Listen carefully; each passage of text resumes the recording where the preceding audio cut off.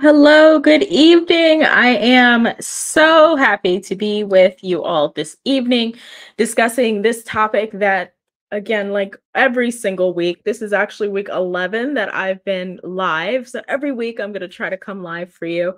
And hopefully it's doing something and helping you improve in some way, shape, or form. But the more that I go live, the more of you I get to interact with, the more questions, comments, and things, and it inspires other lives. So this live tonight is for all of you who may have felt that like lack of confidence about presenting myofunctional therapy or talking about it, whether you are just referring. Some people have said, oh, we're doing the broom screening and we're trying to talk about it, but it doesn't seem like it's getting anywhere. Or I'm a myofunctional therapist and I'm struggling to figure out how to get all my patients to really get on board. It's okay. This is perfect for you. Okay. If you struggle to ever talk about myofunctional therapy, uh, there's some very key reasons why you're struggling, and we are going to work you all the way through it. Okay. So, give me a good like hi i never really know if this is like streaming well or if it's lagging or like if anything is good so just let me know that we're all good you can hear me you can see me and that we are good to go and once we're good to go and i get like a quick hello i can hear you then I will happily start. Uh, but I really do want to welcome you all. I appreciate everyone for being here live. And those of you who are watching the replay, you know, feel free to comment as well. Some of this will be interactive. Awesome. Great. I'm getting, I can hear you. Hello. How is everybody? Good. Awesome. Thank you. Excellent. Okay. Anybody recognize this guy, this face? You might not recognize the guy. I don't know. He's a stock photo guy. Maybe you recognize him for some other work that he may have done portrait wise, but that like turned off like uh-uh like I don't want to hear all of that mumbo jumbo whatever the heck you're talking about. This guy looks like a lot of your patients sometimes. You're talking about myofunctional therapy and they're like myofascial what? Myofun what? Oh my, what? they have no idea what you're talking about. They've never heard of myofunctional therapy before. If they have, they associate it with something like outlandish. There are people who have gotten a lot of education about it and still are kind of like, eh, I don't really think I want to do all of that right now. I don't know that I believe in it. There are even some who are educated professionals. So I've had professionals who are like speech language pathologists, occupational therapists, doctors, like MDs, a couple of DOs, people who have looked at me with that kind of like, what is she talking about kind of look as I talk to them about myofunctional therapy. I get it. I get it. It is a little bit out there, right? Uh, we just got to admit it. We're talking about changing the quality of your life based upon how you're using your muscles below your eyes, but above your shoulders, like from here to here. It does sound like a bunch of hogwash. It sounds like a bunch of like, what? What are we talking about? So sometimes you'll get that. By the end of this, hopefully, you'll know how to turn a lot of that around. Uh, particularly with your dental patients or people who are in the op that you're talking to from a clinical perspective, where you have like a different view. I feel like when you're speaking about Myo and you're trying to sell Myo, you're talking more peer to peer. You're talking more, I am a person, you're a person, we're connecting on this thing. Whereas with dentistry, there's a little bit of a, you know, superior, like I'm talking to you to educate you. You need to do this, you have to do that, and da da da da da, where it becomes a little bit more of your instructions as opposed to you selling that way. So I actually want to step right into that where we talk about the first big myth that is very prevalent that selling myo is just like selling dentistry. Like, if I'm good at selling dentistry, I should be good at selling myo. If I can get my patient to go to the endodontist and they hate root canals, I can get anybody to go to the myofunctional therapist, right? Wrong absolutely wrong. It is entirely different to talk about these two things. Dentistry people are already relatively familiar with what's going on in dentistry. They know why they came there.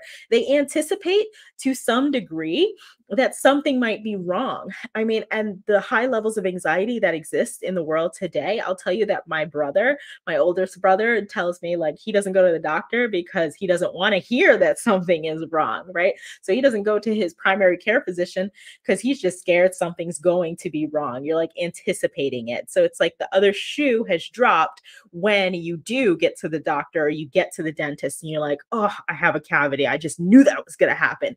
And they were just ready it, right? But who is ready to hear that their tongue is not where it's supposed to be? Who's ready to hear that they are not breathing properly? Who is ready to hear that, you know, everything they thought they knew about the quality of their sleep, the quality of their breathing, the quality of their eating, their digestion, after they've been seeing specialists, after they've been seeing people all their lives, they've been consistent, some of them, with their primary care physicians. Who's ready to get to the dentist and hear about their sleep, their digestion, their breathing, their tongue posture. Not a soul. Nobody cares. Nobody is interested in hearing about that. They weren't prepared for that. So that's already going to put up a block that puts up a block it puts up a wall and nope sorry i don't want to hear it i i've got no room for that kind of eh, you know stuff in my life i've got no room for it in my budget and it just sounds like you're trying to sell me some extra stuff and nobody likes that right because we're healthcare professionals we shouldn't be selling right? We're healthcare professionals.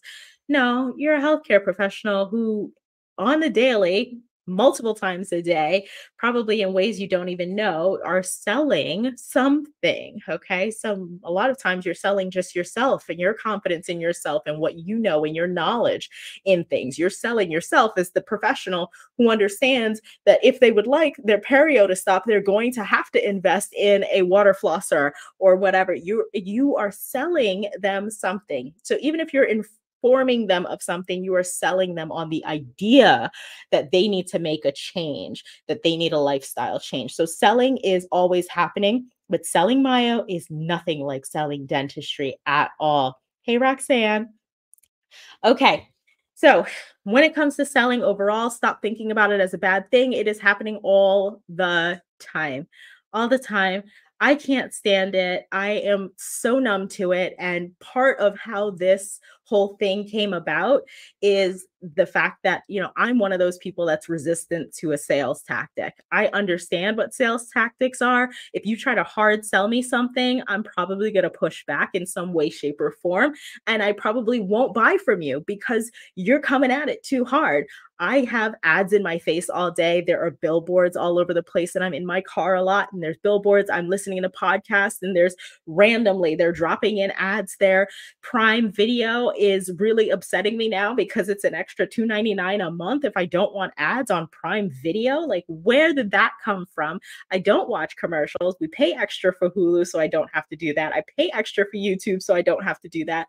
And now it's like more and more and more ads in your face all the time who here has actually ever been talking about something around in the proximity of their smartphone and then naturally had that product now advertised to them as they're scrolling through their feeds. I have my husband and I once talked about how the kids keep chipping off the paint, and neither of us had looked at paint at all ever. We're talking about how the kids are chipping off the paint off the walls. This is years ago before, you know, it's gotten much worse now. But next thing you know, he's scrolling through social media. He says, are you seeing ads for paint? Because I'm seeing ads for paint. And I said, Absolutely, I'm seeing ads for paint. That's crazy because I didn't look up any paint. You didn't look up any paint. We were just talking about how we might need to repaint. And that is how prevalent sales are. Sales are just happening to us. We're overwhelmed. And we're also in a time and, you know, place where we're all pretty frustrated by the high cost of absolutely everything. I go to the grocery store store. We had a uh, hand basket. We put like five products. I swear it was five things in that basket uh, just to make like two nights of dinner or something like that. And the bill was over $50. And I was like, what? Like, why? Why? I don't understand. A lot of these things used to cost significantly less. So now, when you're looking at your budget and you're looking at what things you're going to expend um, expense on your monthly, you know, budgeting, you're probably not planning for a random therapy that you had never heard about. Like you might have money in savings, absolutely. And then you think to yourself, well, you know, if things keep going the way rate they are, I might need to start dipping into that savings. So your savings might already have itself written aside for something else for the off chance that this inflation thing goes even higher. So, if we're putting ourselves realistically in our patient's shoes, they come to the dentist, they don't anticipate hearing about anything other than potentially something going on as far as a cavity or they need to brush better or we need to floss more. You're not going there really as a healthy individual, anticipating that now you're going to be talked into buying some couple thousand dollars worth of myofunctional therapy that you've never heard of, you don't understand why you need, and you're probably going to laugh about it with your partner when you get back home. You might not laugh in front of your practitioner, but you will when you get back home. Okay. So we have to consider and keep all of that at the forefront of our mind because these patients are just like us and you do not want to count anybody's pocket you don't want to say okay well i don't think this one could afford it or that one could afford it you never know what people can afford and granted when people are really motivated they're going to find ways to afford or budget in things that they do want however nobody at the offset has any interest in just blindly accepting myofunctional therapy. There is a learning curve, number one, but that learning curve, oh, there's so much to talk to you about. Okay, let me slow myself down a little bit. Okay. Let's start first off by talking about the metrics of it all, because a lot of you are going to want to start to understand well, what's my closing rate, or how often am I able to convert, or how many people am I talking to about Myo, and then how many people are accepting it. These numbers are important, yes, because of your systems and your processes. So you have to understand where in your systems and your processes things are going awry. However, if you are converting and it is consistent, the metrics typically don't matter unless you're trying to scale and improve that number. And as long as that number is not declining, if it is consistent, the metrics really don't matter.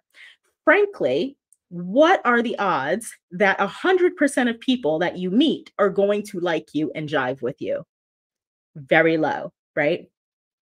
You don't even like 100% of the people that you meet or run into, you know, when you're driving in the grocery store, in whatever, you get bad vibes about certain people. So already knock a percentage of people out that will never buy from you no matter what.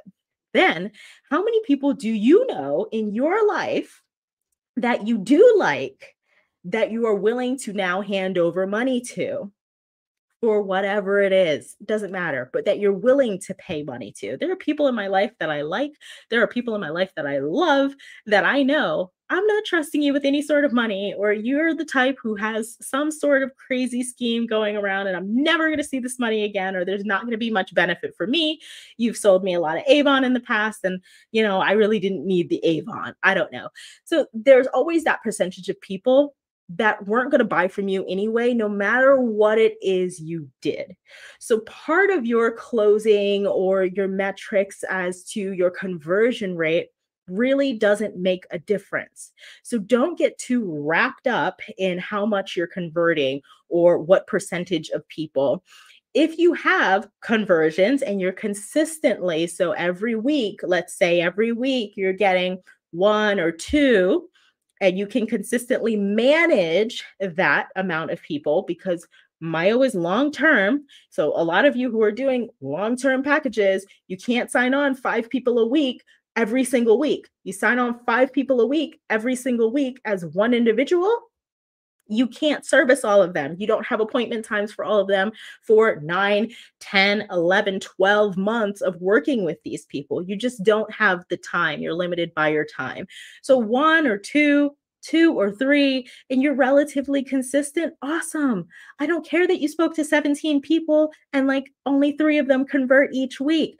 Three is probably what you can realistically manage. So stay in your wonderful purview and don't worry about how many people you're talking to.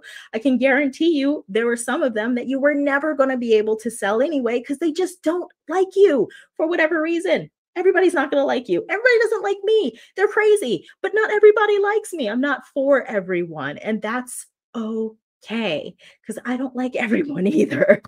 it's mutual. Okay. There's definitely people I would never give money to. So you have to take this all with a grain of salt and just understand that you and who you are needs to show up first and foremost. And so, out of the five keys that I'm going to give you, let's start at number five and we'll work our way to number one. The five keys on how you can get patients to accept more. Number one, five is going to be being real. It is of the utmost importance that you are real at the top of the priority scale when you look at the recent surveys and data that go on for sales in business um, and especially especially in retail business so not necessarily service businesses but retail businesses authenticity, honesty, and integrity always top the scales. So when you are listening to the sales gurus, the people who are really talking about how you can sell and how you can be effective at sales, and I'm telling you, if all you do is spend all of your time listening to people who are talking about airway, you're never going to get biz- better in business. Okay. You have to get off of the airway, you know, out of that little bubble of people who are just talking the same nonsense to each other not that it's nonsense. You understand it's not nonsense, but we all get the industry. We all understand what's going on in the industry. You only need this much of that, but then you need this much of business tactics. Okay. When you look at sales, a lot of people might be you know doing whatever it is that they think they need to do in order to make the sale and they're highly dependent upon getting the sale and that like connection and that reliance upon getting this sale, that desperation, oh, it seeps through. And if you're not genuine and honest about that, uh, it's going to wind up becoming a thing. It's actually been found that if you are more honest and authentic, like, look, I have a family to support, I have four kids, and, you know, it's it's always an uphill battle educating everybody about myofunctional therapy. So what I'm going to do is I'm going to take some time today. I'm going to explain this to you. Yes, if you sign up, I do benefit. I am able to continue to support my family. But what I really am interested in is working with you to help you because that is my passion. So I make a profit off of this. Yes, but it's my passion to work with people like you. And then continue on with what you were going to say. I respect that. I respect that loads. Granted, if I'm handing you money, I understand that you're going to benefit from it, right? There's no world where you don't benefit from me handing you money. But where I'm really trying to connect with you is in the honesty. I'm telling you, look, I, I have a family to feed. This is absolutely going to feed my family. I'm going to be authentic. I'm going to be real. I don't know everything. So sometimes this is exactly what you're going to get. I don't know. I don't have the right answer. I will find it for you, though. I will get the answer for you, and we will connect again and we'll be able to chat. Will myofunctional therapy help with your leaky gut? Maybe I don't know that answer. Maybe I don't have something to spit out at the top of my head and say, oh, yes, absolutely.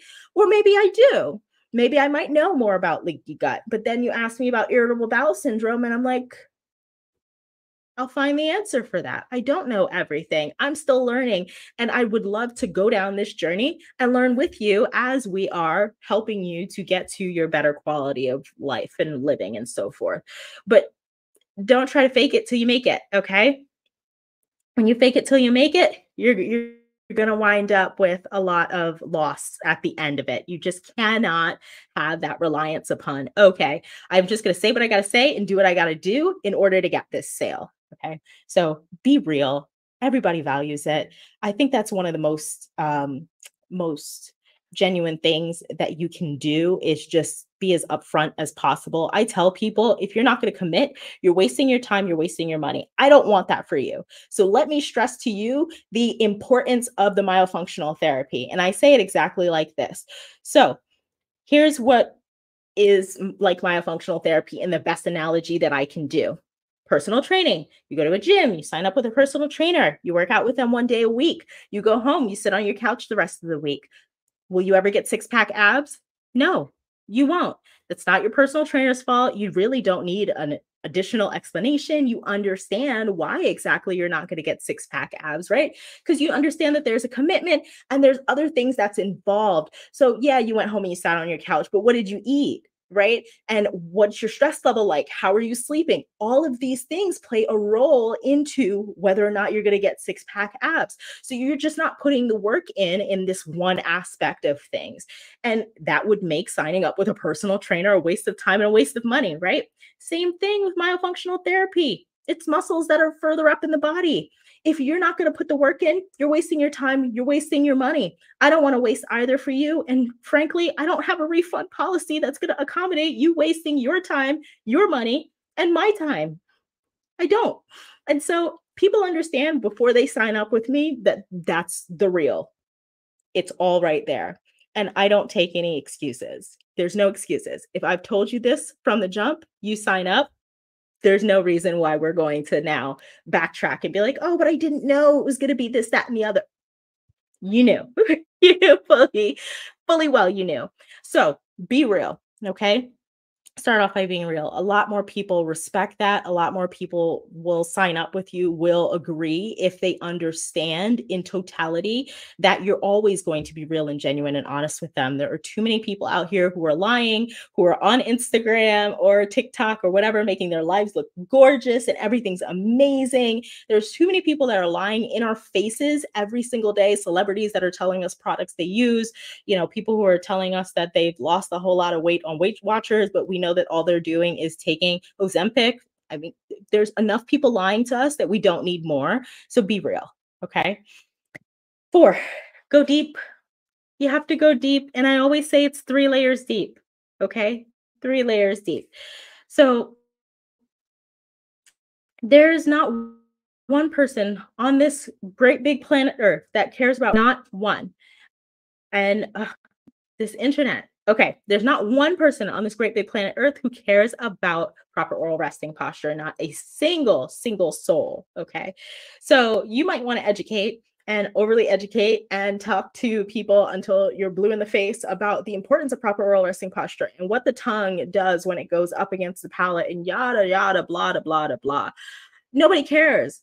I'm not spending money for proper oral resting posture. I can figure that out in some way, shape, or form that doesn't involve me spending money with you. We're in the information age. Okay. If I want proper oral resting posture, I might happen upon mewing. I might happen upon articles. I might happen upon the Snoregym app. I might happen upon a number of things that are going to promise me that that cost significantly less. Okay.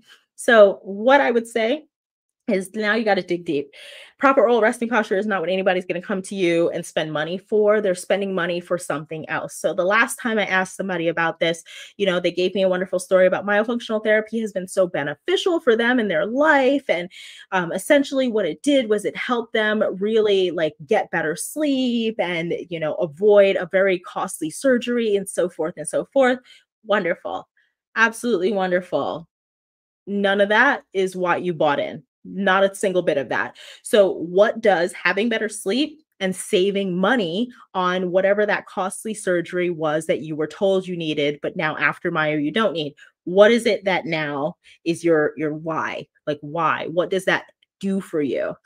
Well, being able to save more money, I mean, I'm able to like spend on the things that I want to spend on. And my sleep has made me a lot more focused at work. And then, you know, so I've been more productive and I love that.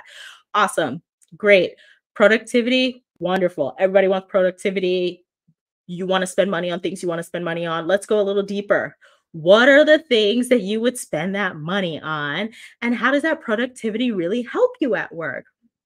Well, I've been at this same place, the same office for so long, and I've been kind of stagnant with my career, and it's really starting to get to me. And I want to go farther and advance, and I probably need to be more productive. I need to bring more to the table so that I could get to the next level at my career.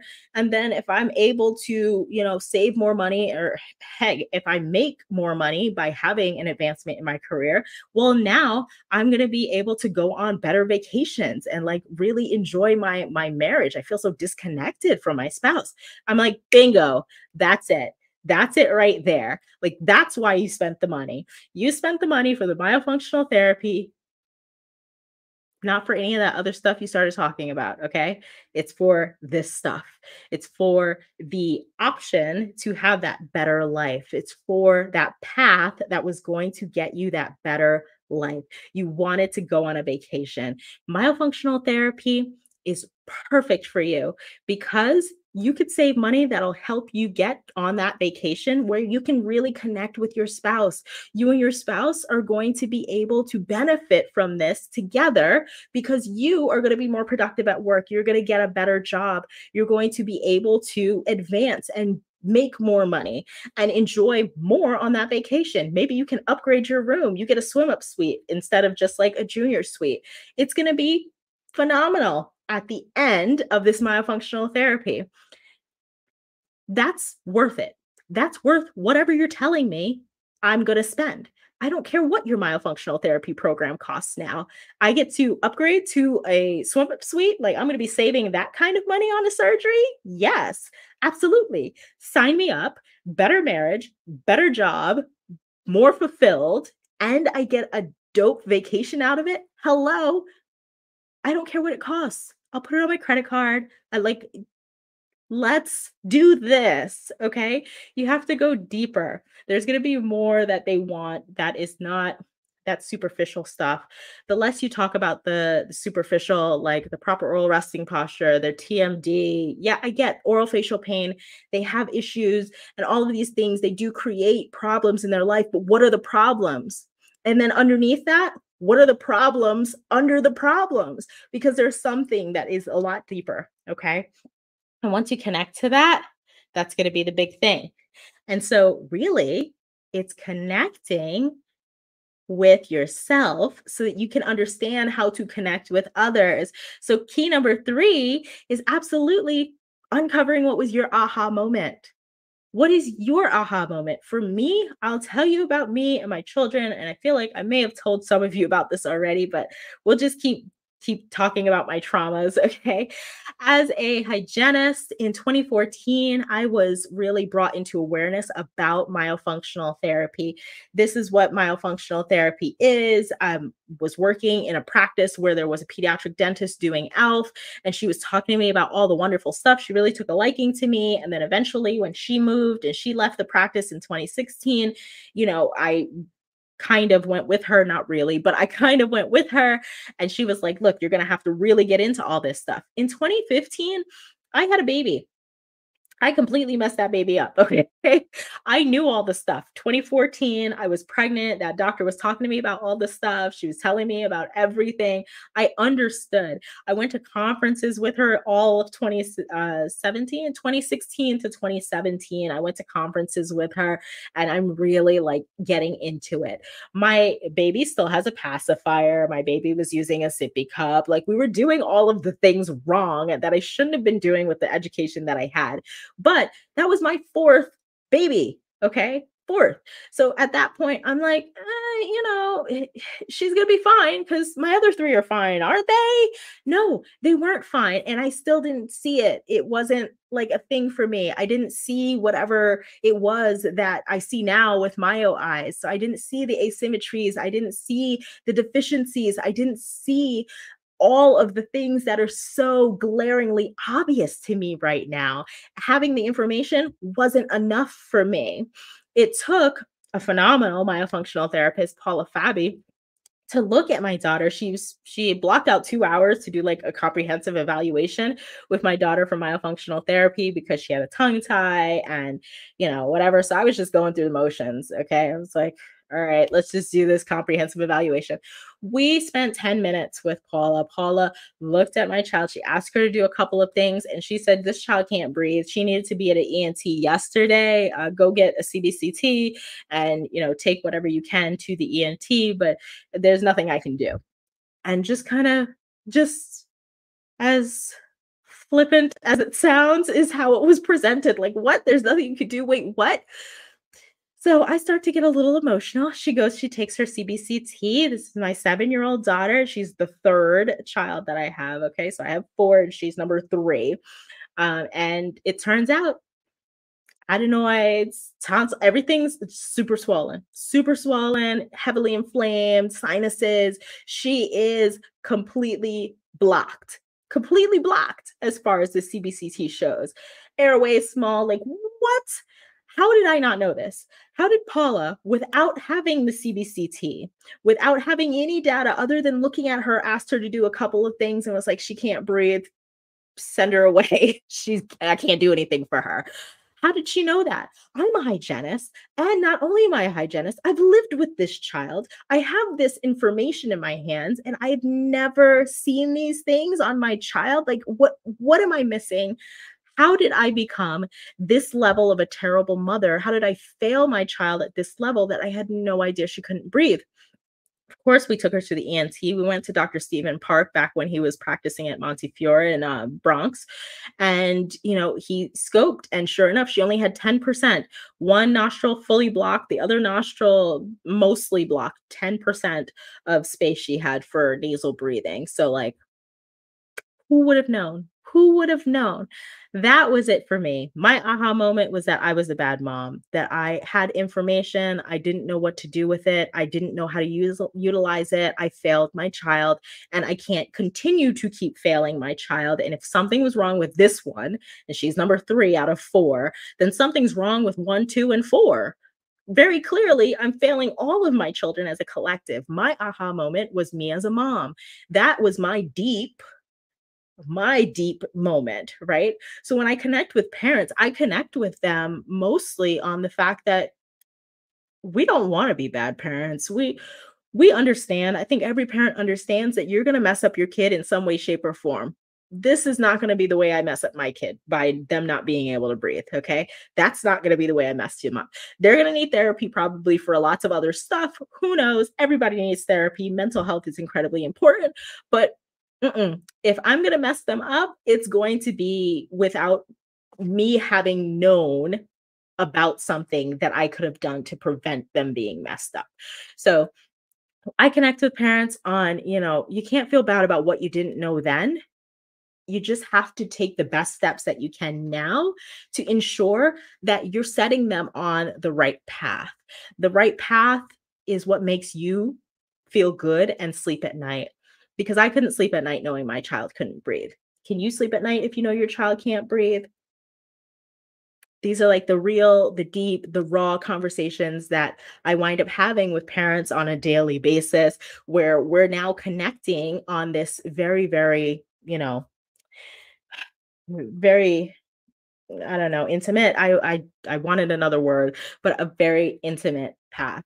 So connect with them. What was your aha? What did it for you? Did you have a specific problem? Did you have a niece, a nephew, a, a somebody, a loved one who was experiencing these things and it hurt you somewhere in your soul so much so that now you're investing thousands of dollars into education to become a myofunctional therapist or that you are passionately now making sure that you're educating every patient in your hygiene chair. Like what was it for you that brought you over the line of I know this thing exists because there's lots of hygienists who understand and who know there's lots of clinicians who understand and know that myofunctional therapy is a thing. What takes you to the next step to start investing in it, to start doing the things for yourself, your family, your loved ones? Connect with your patients. And I'm telling you, you will have better conversations that actually lead to them signing up to work with you. They feel like they intimately know you. And at that moment in time is where you really have that that bond that you really need. I think bond was better than intimacy as the word.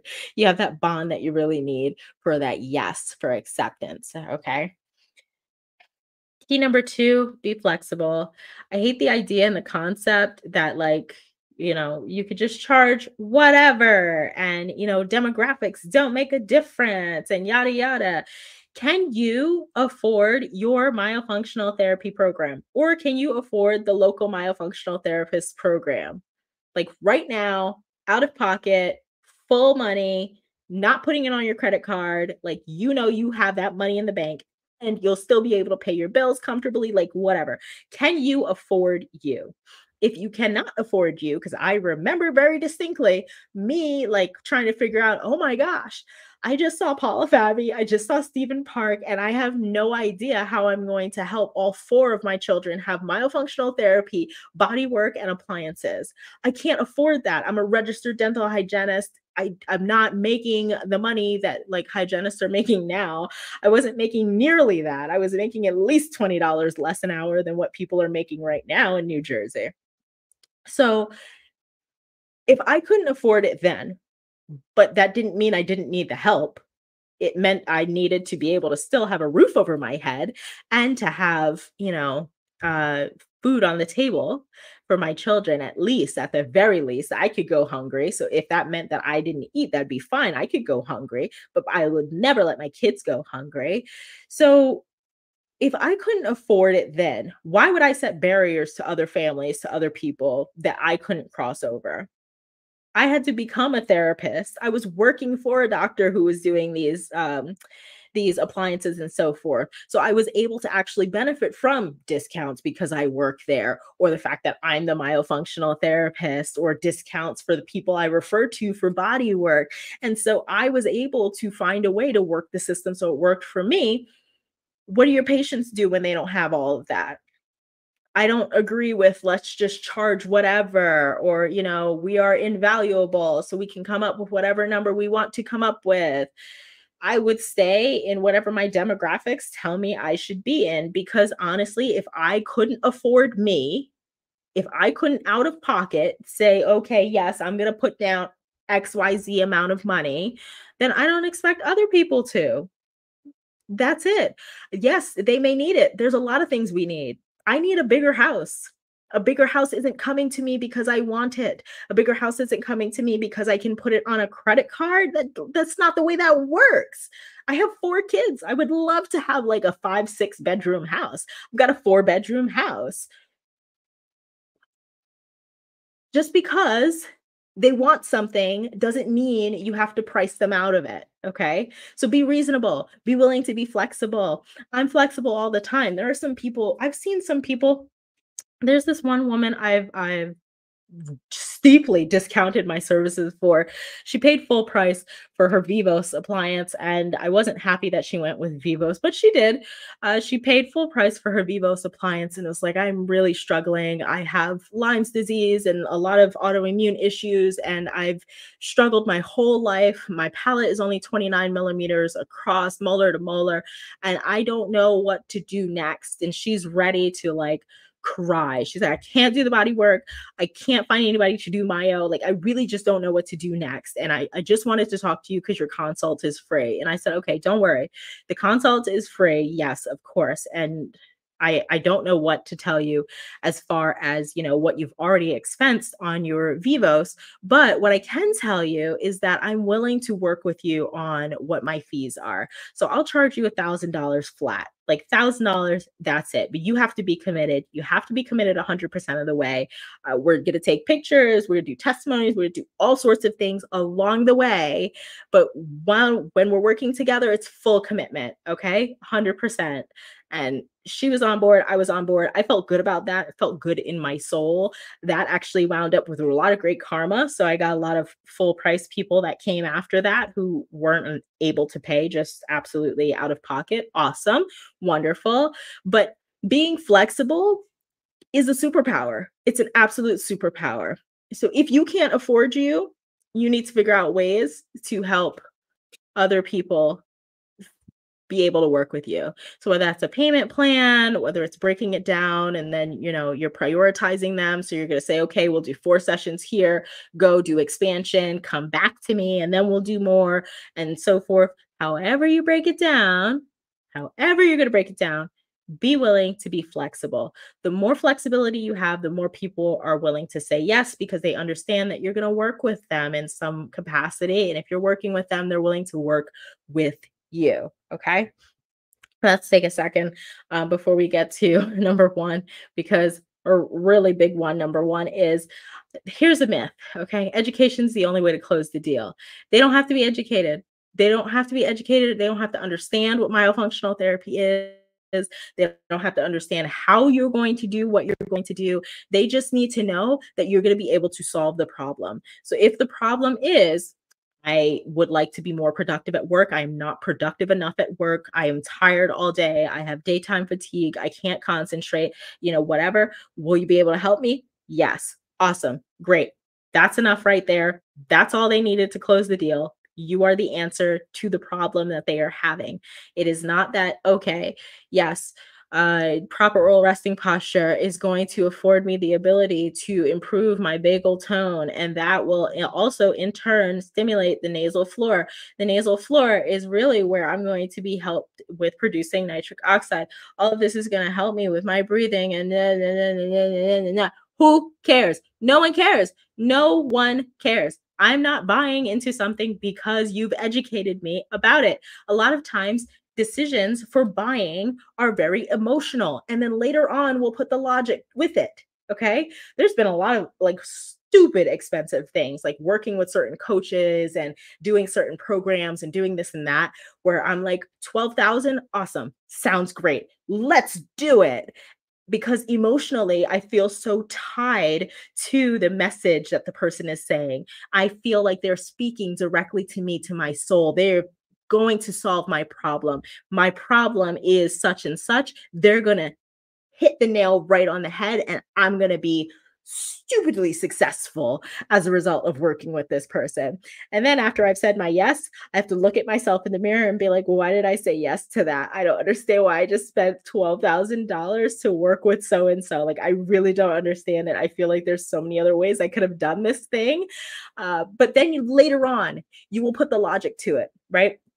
It happens a lot when we're in the grocery store Easiest example you're in the grocery store, you're a little hungry. It really sounds good to buy those cookies. And look, ooh, they're on sale. Okay, we're going to get the cookies. No harm, no foul. We'll get the cookies and then we'll bring them home and then we're going to eat them and we're going to feel good about it. And then you get the cookies and you bring them home and then you wind up eating a row of cookies and you're like, what am I doing with my life? Why did I buy that thing? Like, wh- where in what world did I decide it was great for me to have cookies today, knowing very well my cholesterol's high or whatever, I'm trying to lose weight or this, that, and the other? We buy from emotion not necessarily the logic. We'll justify it later logic logistically, right? So we might say, okay, I bought the cookies because I was kind of hungry and I was in a little bit of a mood. Next time I go to the store, I'm going tunnel vision. Do not go down the cookie aisle because I know I don't need those cookies. Like, why am I getting cookies? We're gonna not go down the cookie aisle. I don't care what's on sale down that aisle. Avoid at all costs. I'm going in with a list and I'm just gonna get what I need. Awesome logic kicks in always afterwards. We do a lot of emotional buying. So, emotion really funds a lot of what we do. And connected to emotion is getting that win. Okay, getting a win. Because I'll tell you that education is readily available everywhere. Most of you on this call probably have a set list of books, reading, research, or articles that you direct people to, and they can get all the information in the world from that. There's nothing new or magical that you're going to tell them that they can't find in James Nestor's Breath or in Jaws or in such and such. Like there's so many books, there's so much research, there's podcasts, there's things all over. Information is free. Information is readily available all over, everywhere you go.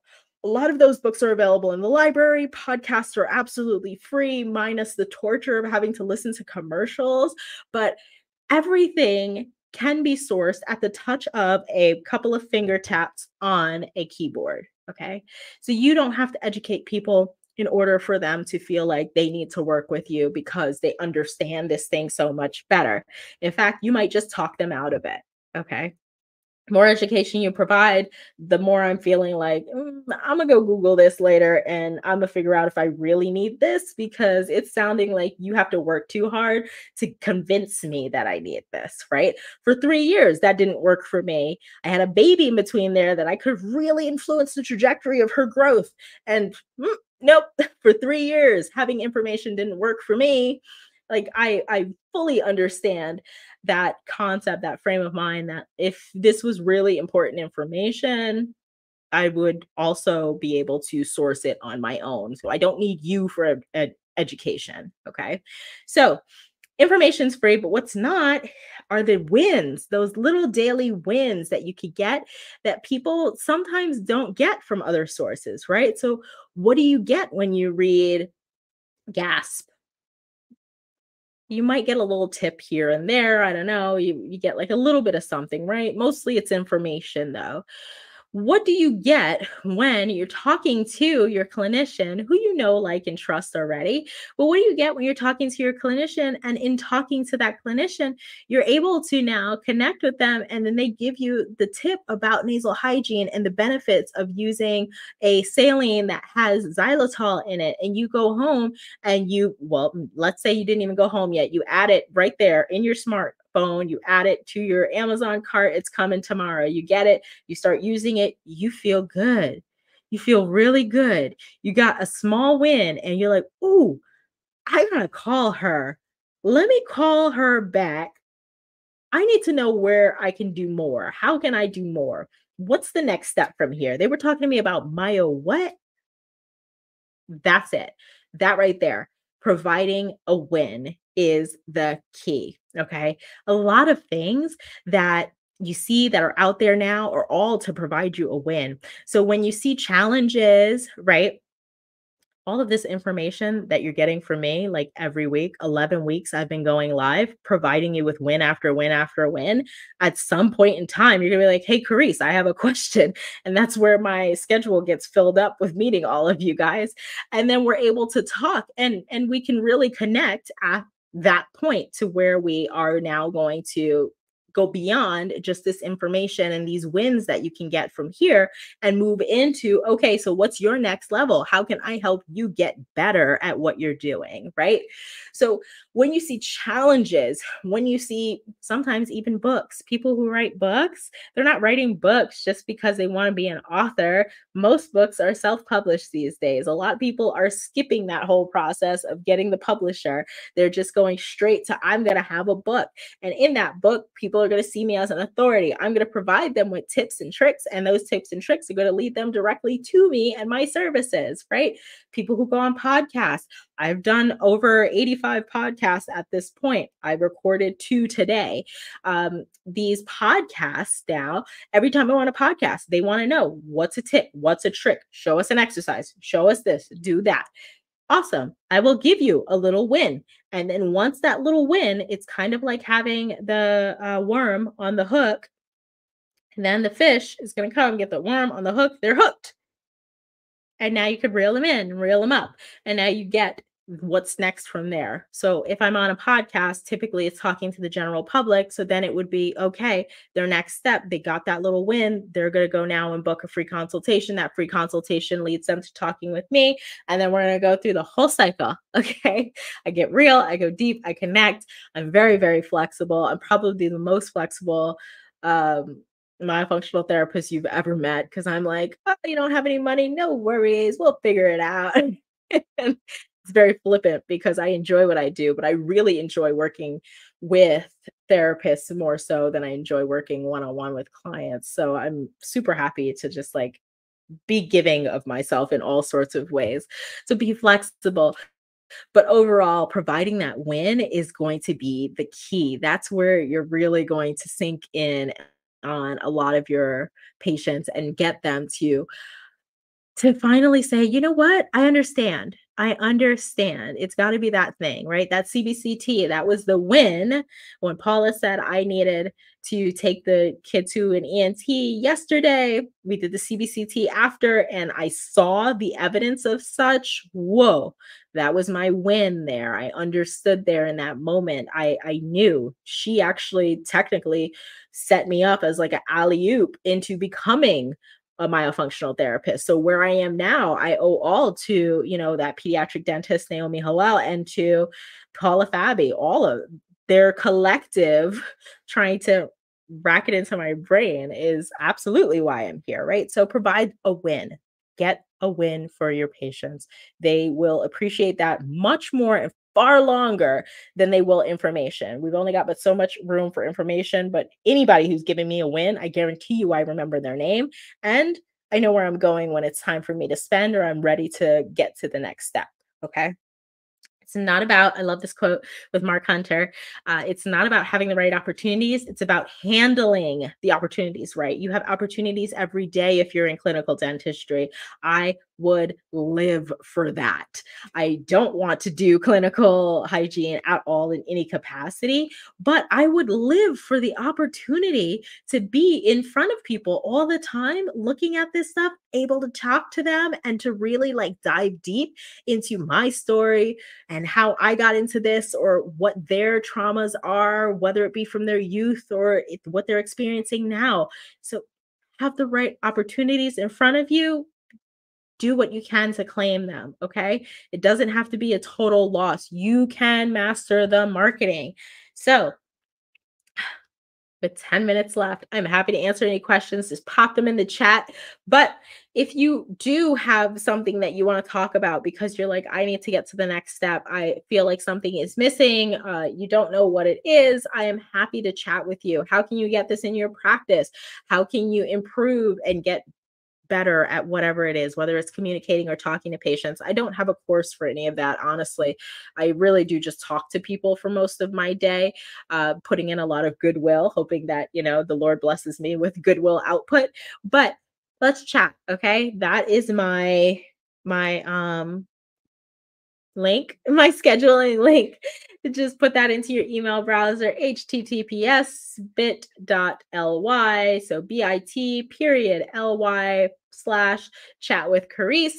And my scheduling link will pop up and you'll be able to book an appointment with me. I don't see any messages in the chat. So I'm going to assume I could kind of dip out a little early. Um, it was such a pleasure to be here with you guys. Everything, every single week is inspired by the questions or the things that come up when I'm in chats with you guys. And I plan on going live every single week to continue to offer value. So please reach out. I'm happy to chat with you at any moment in time. Thanks for joining me, whether you're on LinkedIn, Facebook, or YouTube. I appreciate you all. Mwah. Have a great, great evening and a great week. I'll see you next time.